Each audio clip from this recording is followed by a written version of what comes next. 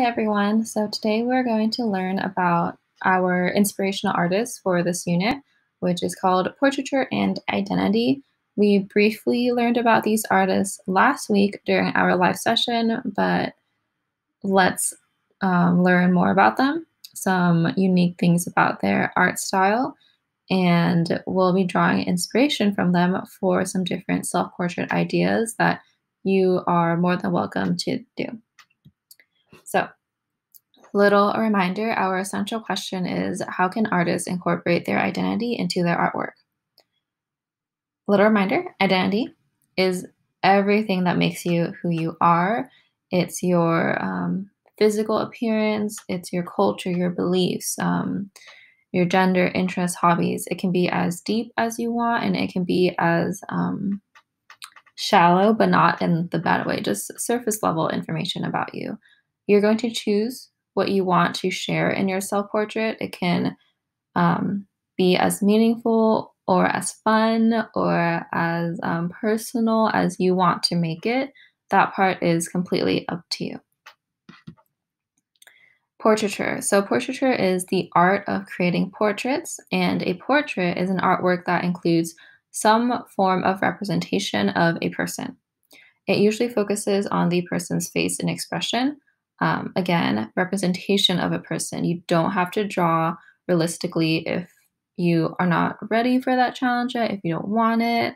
Um, you can take inspiration from any existing art style that you like and make it your own or keep it really simple um, and think about like smiley faces and emojis. We recognize those as faces, as people, despite it just being a circle and two dots for an eyes, right?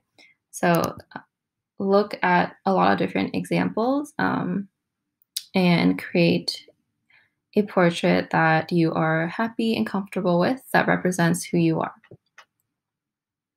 Our first artist inspiration, artist example is Frida Kahlo, who is very well known for creating self portraits.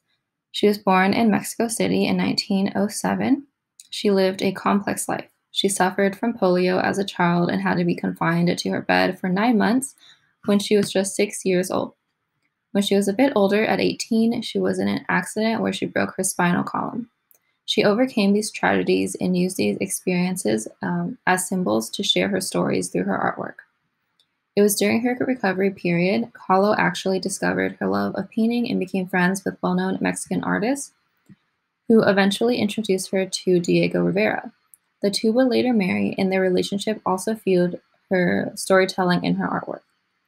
So, if you want to take a deep dive into her experiences in history, you can see all of these tragic and big events being represented in her artwork.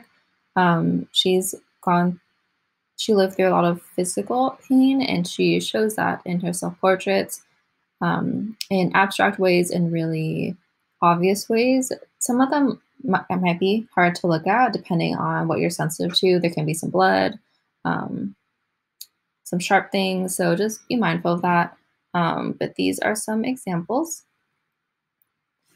she really identified with um, this monkey that you see in the two self portraits, and she documented who she was at different stages of her life. Um, but what these all have in common is that it focuses on her face and shoulder up, adding little details to change the narrative a little bit.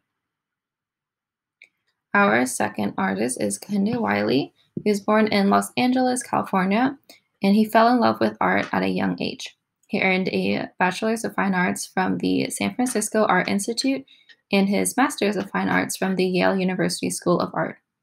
Studying fine arts for years, Wiley studied the classics, which consisted of extravagant, realistic paintings of white men. Combining his skill set with who he is and his experiences, Wiley began to create a body of work consisting of photorealistic paintings of men set against floral backgrounds, combining references from classical paintings and pop culture. His work spotlights um, Black men and women, giving them a space in this classical painting style. So, photorealistic means um, super, super realistic, like it could be a photograph. If you look at all these examples, they the lighting, the contrast, it, it looks like it's a photograph, so realistic. But these are all oil paintings. Um, and he specifically focuses on incorporating Black men and women into his work because they weren't represented in those classical paintings. Um, he also identifies as a gay man, so including pop culture um, references in his work and combining that like um, hip hop culture with very floral backgrounds is his way of addressing masculinity within his community. Our third artist example, Amy Sherald. Amy Sherald was born in Columbus, Georgia, and is an American painter whose body of work consists of mostly portraits of African American and Black people in everyday settings. She combines different art styles in her paintings using techniques to create simplified, realistic interpretations of people and using gray tones to, por- to portray um, skin tones to challenge people's ideas about skin color and race.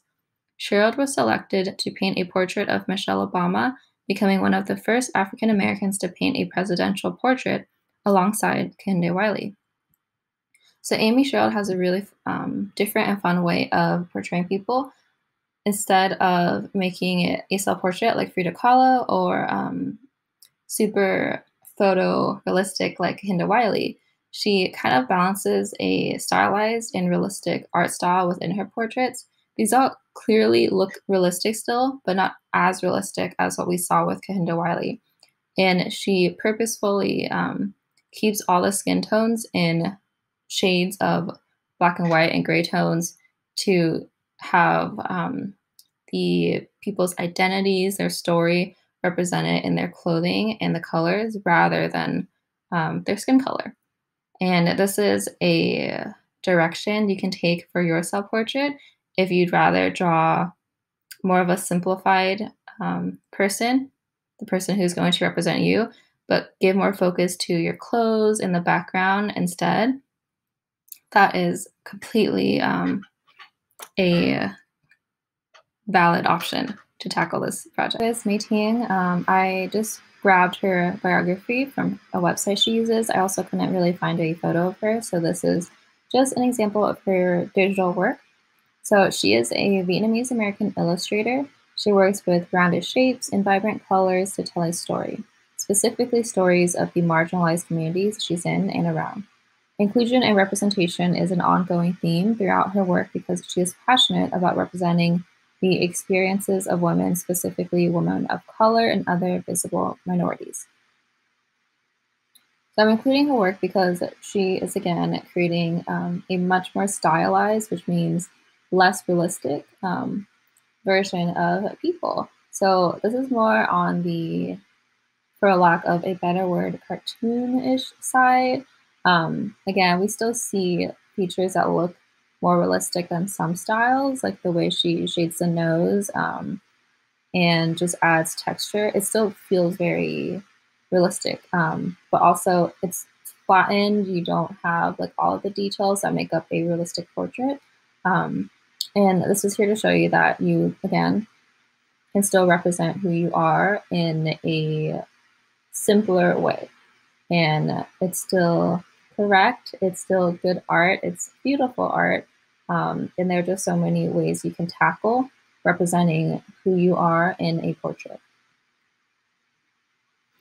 And of course, for those of you who like really like to play with colors and shapes and keep it very whimsical and fun, um, you can always do an abstract self-portrait. This will also be another direction you can take. Um, this is Sylvia Plath's example, and she used an array of colors, some textures in different parts. Kind of makes it look like she's wearing a headband instead of just like solid color for all of her hair. She mixes both geometric, those sharp edge shapes, and organic shapes. Um, and we can still read the face as a face.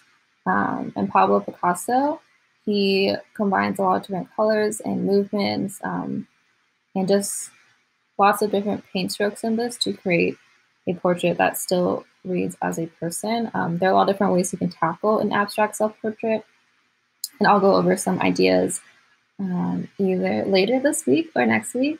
We have a lot of different options and inspiration for creating a self portrait that you are happy and comfortable with. Um, it'll be very, very open. So if you have more ideas from what I provide, please feel free to try those out.